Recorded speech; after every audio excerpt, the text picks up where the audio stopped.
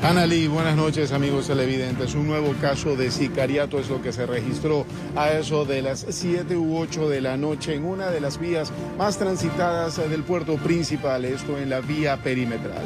Una persona que iba en su eh, vehículo con sus dos pequeños hijos recibió varios impactos de bala. Los pequeños salieron ilesos de este hecho de sangre que nuevamente se registra en la ciudad de Guayaquil. Nosotros les hemos preparado un informe respecto a lo que ha sucedido hace pocas horas. Adelante con el video. El hecho se suscitó en la vía perimetral, cerca de un paradero de buses. Según lo que expresan autoridades de seguridad, una persona que se dirigía al sur de Guayaquil habría sido interceptada por desconocidos, quienes en segundos abrieron fuego, dejando sorprendidos a los testigos. La policía daba los primeros datos de lo que ahí ocurrió. Un vehículo tipo camioneta se le acerca por el costado izquierdo de la buceta de color rojo.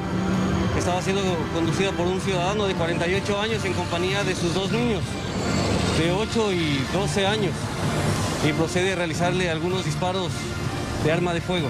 Criminalística presente para trasladar el cuerpo a la morgue. También la fiscalía estuvo en el lugar. Recolectaban pistas, detalles que apoyen las investigaciones. Los niños están ilesos. Todavía tenemos que verificar y procesar eh, la identidad del ciudadano para poder eh, identificar si es que tiene antecedentes.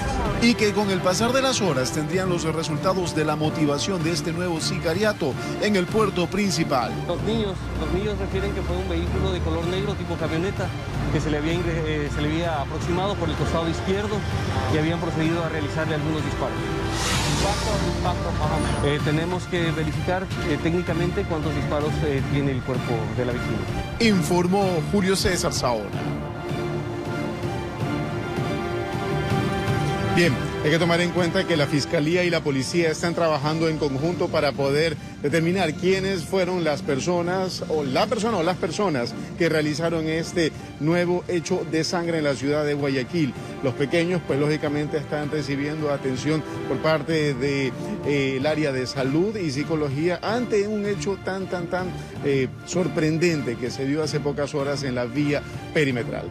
Es lo que podemos informar hasta esta hora de la noche. Anali, tú tienes más información desde estudios. Buenas noches.